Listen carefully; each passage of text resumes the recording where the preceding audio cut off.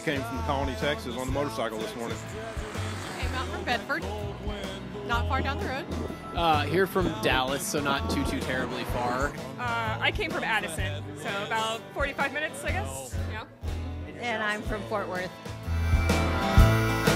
If you say I, I, I we're very humbled that um, all of you were able to get tickets in the hour and a half that tickets were on sale.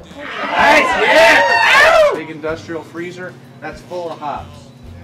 Please don't open it. It's about minus three degrees and, and it has lots of hops that I'm trying to store so that we can use them and make wonderful, delicious beverages.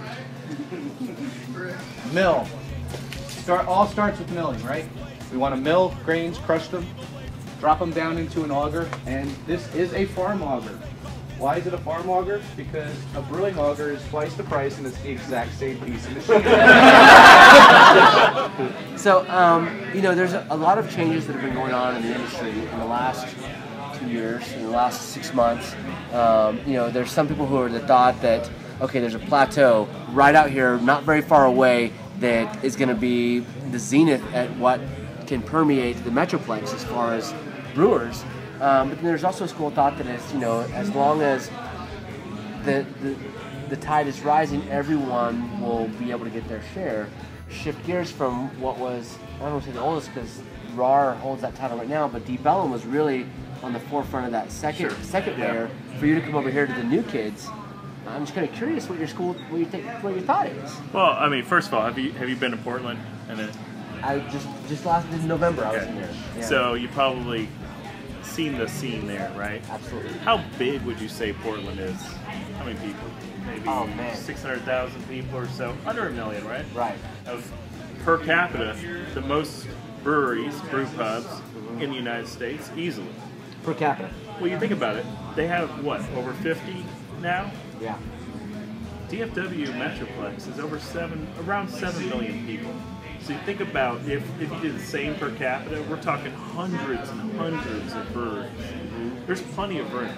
Now the, the key difference is probably that you got a lot more brew pubs in Portland, and here there's a lot more production breweries opening up. But there's still so much room for that kind of growth. And as people get more accustomed to what craft beer is and what it tastes like, and how much more enjoyable it is than BMC, you're going to see that that shift continues. Yeah. Because if you have 5% of 7 million people currently drinking craft, and that moves up to, let's just say, 10%, you know, that still leaves a lot of room for increased growth. And you're seeing that day by day. You're seeing a lot of having Peticolas and Lakewood and Rabbit Hole be their top beers that are selling. And that's happening on a, on a day-to-day basis. So as that continues to permeate the entire DFW Metroplex, there's tons of room. There's room for a lot of us. Yeah. Thank you very much. We appreciate you coming. Um, please talk nicely about the beer.